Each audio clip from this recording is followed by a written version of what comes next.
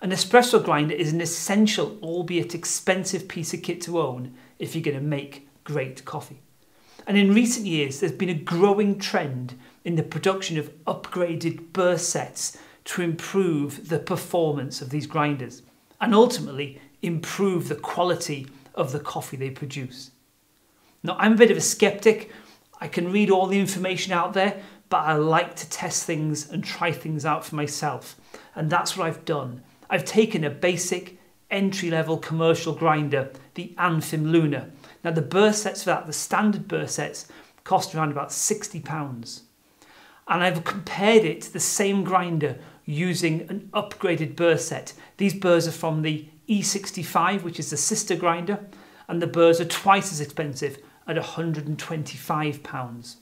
And the question is, does it change how the grinder performs? Does it change the quality of the coffee it produces? So the first thing about these two burr sets is the grinding capacity of them.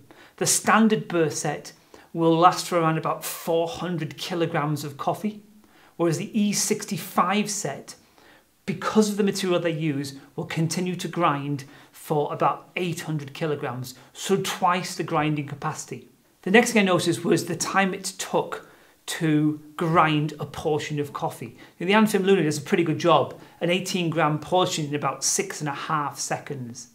But immediately I put those upgraded burrs in, the grinding time was much faster, uh, about five and a half seconds per portion. And that's simply down to the quality of the material, the quality of the cutting precision of those grinder burrs.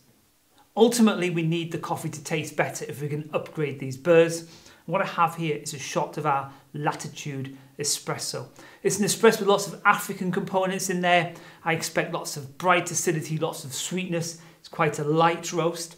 And this particular shot's been taken using the standard burrs that come with the Anfim Luna.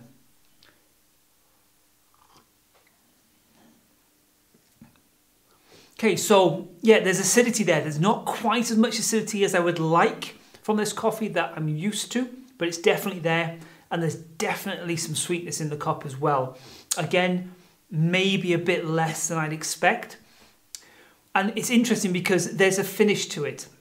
It's quite a light roast here. So there's kind of a, a, a mild bitter finish at the back of the mouth that, again, I tend not to find from this coffee. It's a nice shot, don't get me wrong. It's just maybe not what I would expect.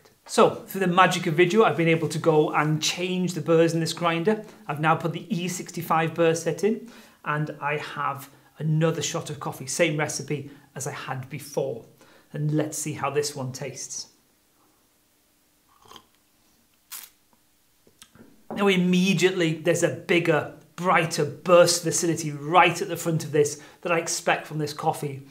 And it's juicier. The sweetness is, has been elevated. Much more sweetness in the cup. The whole thing's really nice and juicy. And what's missing, what's disappeared, is that finish at the back end, that kind of bitter hint, bitter kick at the back end. It's a much more rounded, much more kind of gathered together coffee. Um, there's just much more punch in the cup. So what's going on when we make coffee using these two different burrs? What is creating that? Quite a vast difference in character and flavour. And it comes down to the simple fact that grinders don't produce even sized particles. There's always a spread of different sizes from very, very fine particles up to what we call boulders.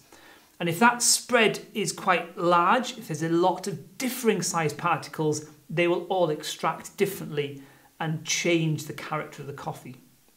Now I sieved a portion of coffee from each of these burr sets to see what kind of spread of particle sizes we got. And if you take the Luna burrs, you'll see that there's a couple of spikes. There's one spike on the left of the graph that shows there were quite a lot of fine particles produced and those fine particles will have over extracted in the cup and produced that bitter finish that I experienced. And then we've got a secondary spike to the right, which is kind of producing that juicy kind of range, that sweet range that was pleasing in the cup. But when you compare that to the E65 burr set, you'll see that first of all, we're missing that spike of really fine particles. but the actual range of good stuff, if you like, good sized particles, is much, much higher, and that means we get that better lift in the cup. So ultimately, point proven. Upgraded burrs make a difference. They make a difference to how a grinder performs and they make a big difference to how the coffee tastes. What I have next is um, an even better burr set. These are what they call Alinox coated burrs and these apparently will add five times the capacity to your grinder and lift that sweetness even further and I'm looking forward to trying these shortly. In the meantime, any questions you have, please let me know and thanks for watching.